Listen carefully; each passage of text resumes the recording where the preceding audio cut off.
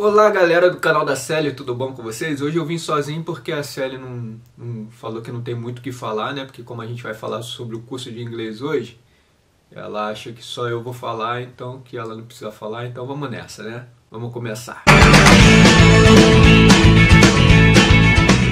Então eu vim aqui sozinho para falar sobre o curso, sobre o nosso visto de estudante e se tiver alguma coisa faltando, ela vai dar um pitaco aí, né?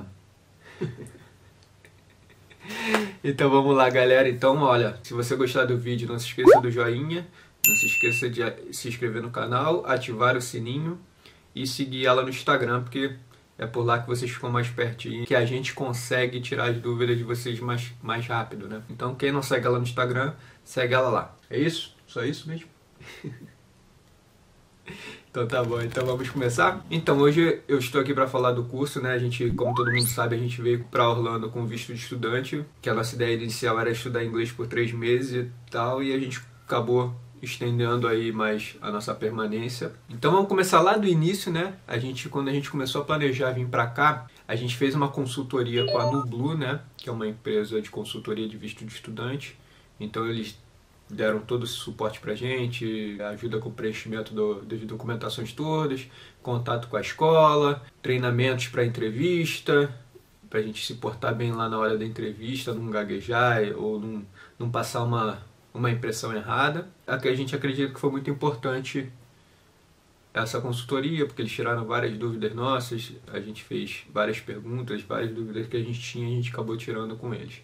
Então acho que foi uma coisa muito válida não sei se vai agregar para todo mundo, mas é importante a gente, a gente pontuar que a gente fez essa, essa consultoria. Assim, foi mais importante porque a gente acabou ficando mais relaxado e mais calmo na hora da entrevista. E também a gente já tinha um visto de turismo, então a gente já sabia, já tinha passado por uma entrevista, a gente já sabia como é mais ou menos, então foram responsáveis aí por ser mais tranquilo para a gente a entrevista. Então, assim, a nossa ideia inicial quando a gente fez o visto, porque o que acontece? Você, quando tira o visto de, de estudante, você precisa comprovar que você tem renda suficiente para se manter no período que você está estudando aqui. Ou seja, o visto de estudante não dá permissão para trabalho. Você não tem permissão de trabalho. Você não consegue trabalhar legalmente aqui nos Estados Unidos com visto de estudante. Nem o F1, nem o F2. O F2 é acompanhante do estudante. Então, assim, você tem que comprovar renda pela. É, eu não lembro agora quanto é mais ou menos, eu acho que é... Calma aí, só um segundo. Então, voltando, eu fui lá ver quanto é que era o valor. Como a gente só ia ficar três meses, a gente precisava comprovar por torno de 4 mil dólares para mim e mais 1.500 dólares para a Sally, dependente, né? Então daria um total de 5.500 dólares que a gente teria que comprovar para poder tirar o nosso visto de estudante, porque isso comprovaria que a gente tinha um dinheiro para poder se manter aqui três meses sem precisar trabalhar, porque não poderia. Então a gente teve que comprovar isso para poder a escola emitir o I-20, que nada mais é um certificado lá que a escola emite junto ao departamento lá de segurança interna dos Estados Unidos, provando que você é elegível a estudar, a, sei lá, tirar o visto de estudante. Então, com isso, eles emitem esse documento que a gente precisa dele para poder dar entrada no visto de estudante. Então, na verdade, quando você tira o visto de estudante, o visto de estudante ele é válido por quatro anos, mas a sua permanência nos Estados Unidos não é durante quatro anos, é durante o período que está nesse I-20. No nosso caso, era três meses. Quando a gente chegou aqui e a gente quis ficar mais tempo do que só os três meses, eu entrei em contato com a Liberty para a gente emitir um novo I-20 e eles me explicaram que eu poderia emitir o I-20 com validade de até dois anos e meio, que era o período do curso inteiro, né? Que na verdade ele não ficaria em dois anos e meio, ele ficaria em tempo determinado, indeterminado. Que isso era bom até para você tirar a drive, né? Porque ficaria com uma validade mais extensa. Mas que eu teria que comprovar 15.500 15 dólares de renda, porque volto que a gente não poderia trabalhar. A gente teria que ter os 15.500 mil, 15 dólares para poder justificar que a gente conseguiria ficar aqui se manter aqui durante os dois anos e meio. Então a gente comprovou, passou tudo o que precisava para a escola, para a escola dar entrada nesse 20. Só que teve um problema. Como a gente deu entrada aqui nos Estados Unidos com, com permanência só durante três meses, o máximo que a gente poderia estender era um ano. e no final desse um ano estender até o final do curso. Então, aí mesmo comprovando para ficar direto, a gente só conseguiu estender nosso visto por mais um ano. Nosso visto não, né? Nosso I-20, porque o visto são quatro anos. Isso é ruim para drive, porque a minha drive, por exemplo, aí eu só consegui fazer por um ano, eu vou ter que renovar de novo quando acabar. É um detalhe importante de falar aí que para poder fazer na introdução do vídeo é que se você tem ideia de ficar mais tempo aqui, não, não dá entrada com três meses, senão você tem esse, essa dor de cabeça. Não, problema assim do outro mundo, mas vai ter que renovar, comprovar de novo renda lá no final do ano e vai ter que renovar sua, sua drive, sua carteira lá de motorista aqui dos Estados Unidos. Então, tirando essa parte burocrática toda aqui, vamos falar um pouco da escola. A gente gosta da Liberty, né? Tem uma liberdade grande com, com a escola, né? Você pode escolher lá entre três turnos, de manhã, tarde e noite. A gente escolheu a noite. Eu faço aula de 6 até 10 horas da noite, mas nunca dura isso, né? Vai sempre de 6 e 15 até 9 e pouquinha. A aula não está presencial ainda, desde do Covid. Hoje até recebi e-mail aqui dizendo que faz dois anos que está remotamente, né? Que está aí virtual a aula. A aula pelo Zoom, que é o Zoom que usa o aplicativo você precisa de mais disciplina, né? Você precisa estar tá lá. Tem uns professores que são um pouquinho mais chatos, tem uns que soltam um pouquinho mais, então assim, tem uns que ficam enchendo o saco para você ligar a câmera, tem outros que não, não, não precisa ligar a câmera, tem uns que fica puxando para você ser participativo, tem outros que não. Eu já tive aula com três professores.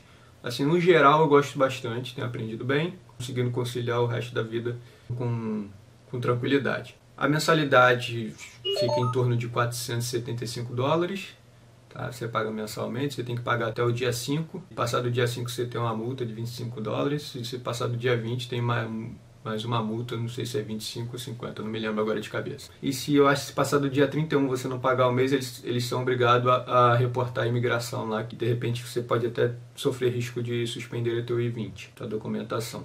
É uma escola que me agrada. Antes de começar a aula tem uma ambientação, você faz um período lá que você conversa com, com o Reinaldo, não sei se quando vocês forem falar ou se vocês decidirem falar, pesquisar lá vai ser com ele também, mas ele é muito gente boa, ele fala português. Voltando um pouquinho atrás, ainda estava no Brasil, eles fizeram o nivelamento, foi a Ivete, se eu não me engano, me ligou, que é a coordenadora acadêmica, para fazer o nivelamento e faz pelo telefone. Então, para saber qual é a turma que você vai se encaixar. Então foi, foi bem legal, ela me deixou bastante tranquilo. E todo o contato, o resto do contato foi com o Reinaldo também, muito gente boa, fala português, não é brasileiro, mas fala português, então você tem que falar devagar com ele também para ele poder entender tudo. A equipe lá de administrativa do, do curso é, é bem legal, bem acessível. Então toda dúvida que você tiver, você pode entrar em contato com ele que eles vão, vão tirar.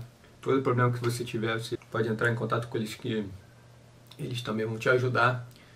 E o Reinaldo sempre me ajudou desde o início aí. Então assim, eu só tenho a falar com esse boa do curso. Não tive nada que me fale, ah, pô, não vou indicar esse curso para ninguém. Então, se vocês quiserem, então, na dúvida aí de quem procurar, de que curso fazer, é um curso legal, eles já estão vendo aí qual é a data para estão esperando as próximas notícias sobre o Covid aí, sobre a pandemia, para ver se vão vão voltar, quando é que vão voltar para o presencial. Eles têm feito todo o curso, eles têm feito pesquisa para saber e uma das perguntas era se você está gostando, se você prefere ficar mais tempo online, se você prefere voltar para o presencial. Então eles têm esse cuidado, né, de saber a opinião dos estudantes. Quando você faz três módulos, você já pode pedir férias, que é um módulo, né? Que dura mais ou menos dois meses. Sim, eu acho que não tem qualquer dúvida aí que vocês tiverem. Sim. Não tem muito mais o que falar sobre o curso.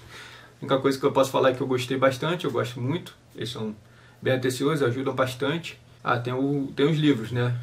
Que eu acho que o físico, você pode comprar ele físico ou virtual.